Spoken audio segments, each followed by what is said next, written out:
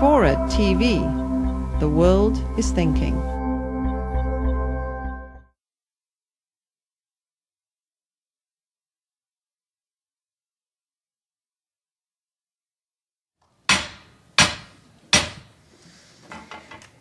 Good evening and welcome to tonight's meeting of Inforum, a division of the Commonwealth Club by and for people in their 20s and 30s, with a mission to inspire debate on civic issues. You can find us online at commonwealthclub.org forward slash Inforum.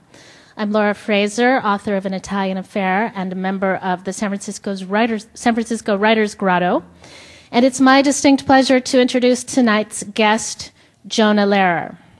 Lehrer is a scientist, a writer, and an engaging thinker.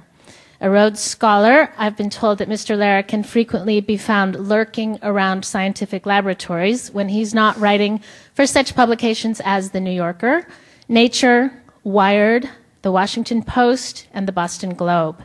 He is editor at large for Seed magazine, an insightful and entertaining online publication about science. He's also the best selling author of Proust was a Neuroscientist, and most recently, How We Decide. We're delighted that he's here with us tonight. Please join me now in warmly welcoming Jonah Lehrer to Inforum at the Commonwealth Club.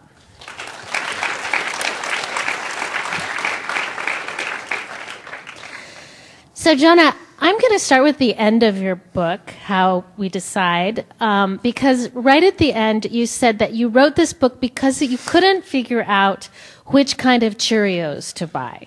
So, what was going on when in your brain when you were trying to decide which kinds of Cheerios? well, this is.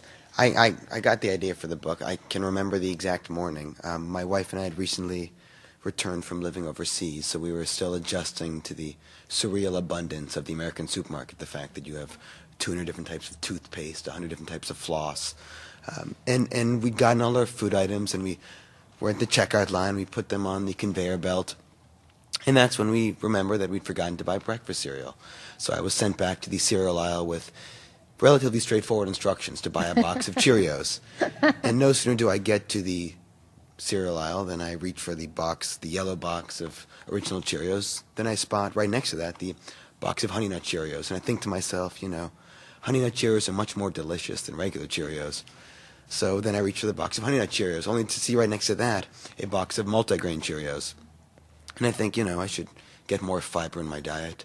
So I reach for the box of multigrain Cheerios, only to see that multigrain Cheerios are $3.99 a box, and that the generic Cheerios are $2.99. So I reach for the box of generic Cheerios, I'll, I'll spare the entire interior monologue. But several minutes go by, and I spot my wife out of the corner of my eye looking at me like I've completely lost my mind because I can't pick a box of Cheerios. And so it was, it was very much that failure, that failure of thinking too much, of, of trying to be too rational, coming up with too many reasons that, that first got me interested in the subject. I wanted to know what was happening inside my head as I struggled to make a cereal selection, and more importantly, what should have been happening inside my head. Um, and, and so that led me into uh, this subject of decision making and all this new research which has just come out in the last couple of years. Did you go with the original Cheerios? Oh gosh, that's that's a that's a that's a complicated question. What I do now, and I probably shouldn't give away my secret at the beginning of the interview, is I mix Honey Nut Cheerios and multigrain Cheerios in the same bowl. Um, so that's that's my secret recipe for decision making. Now, do you think our consumer culture, with this enormous abundance of choices, is making decision making more difficult for us and it's making us crazy? I do. I mean, I mean, this is this is relatively this is often referred to as the paradox of choice. And there are some interesting studies that show, for example, there was actually an experiment done in a fancy grocery store in Menlo Park, and what they found was that when you give consumers three jam options to taste from, so they can sample strawberry jam, blueberry jam, and raspberry jam, about a third of the customers who try one of the jams will buy one of those jams. They'll find their favorite jam and pick one up. However, if you give them 25 different jam options to taste, to select from, so now you're getting all obscure. You're talking about apricot blueberry jam, pomegranate molasses jam, whatever. now only 3% of consumers will stop and buy a jam. So I think that's a very clear case of how more choices, you know, if you were if you're a microeconomist, you'd assume that more choices would lead to more consumer satisfaction. And yet, some part of our brain, there's some initial brain scanning evidence to confirm this, some part of our brain is actually gets scared by all these options that seem equivalent. You can actually see the amygdala, which is a brain area that's often associated with aversive feelings, turn on when people are confronted with options that at first glance seem identical, seem equivalent. And so it's that feeling of uncertainty, the uncertainty of not knowing which cereal to buy or not knowing which jam to buy.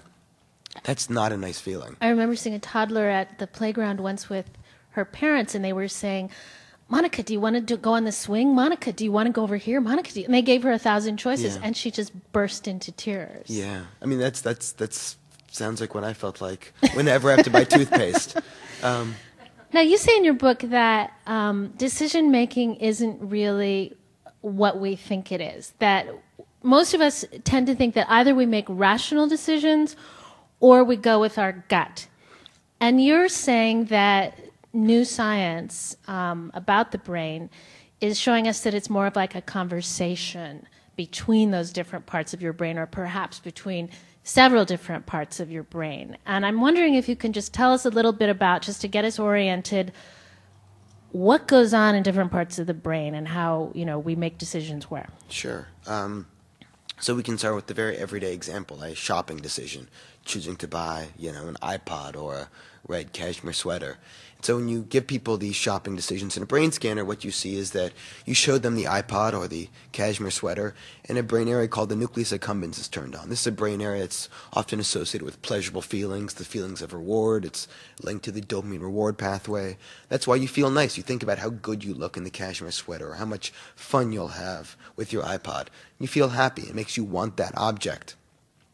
But then you show people the price tag that the iPod costs 199 and the cashmere sweater is expensive.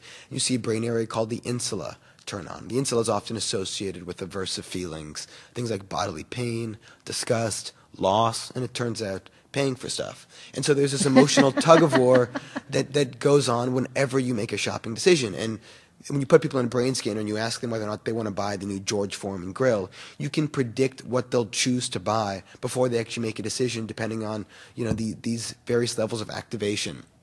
So that kind of shows, I think, illustrates very neatly the, the kind of argument that takes place inside our head, this, this tug of war whenever we make a decision. And one, I think, interesting quirk about these shopping decisions is that when you pay with a credit card, the insula is less active than normal.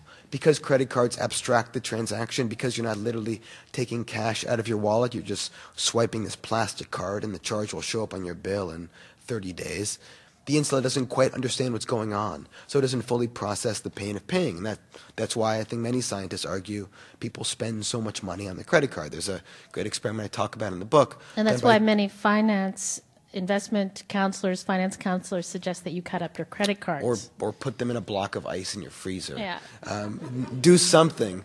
I mean, I mean, you know, I think there's lots of evidence that suggests that people buy stuff with their credit cards that they wouldn't normally buy. And there's there's an experiment done by MIT economists where they had people bid at an auction for Boston Celtics tickets. One group could bid with cash, one group had to bid with their credit cards. And what they found was that the group that bid with credit cards ended up bidding twice as much money for the same tickets as the group that bid with cash. And it gets back to the insula. It, it just doesn't process the pain of paying when you pay with a credit card. Now, throughout your book, you sort of give us a lot of different examples about when you use different parts of your brain and when that's useful.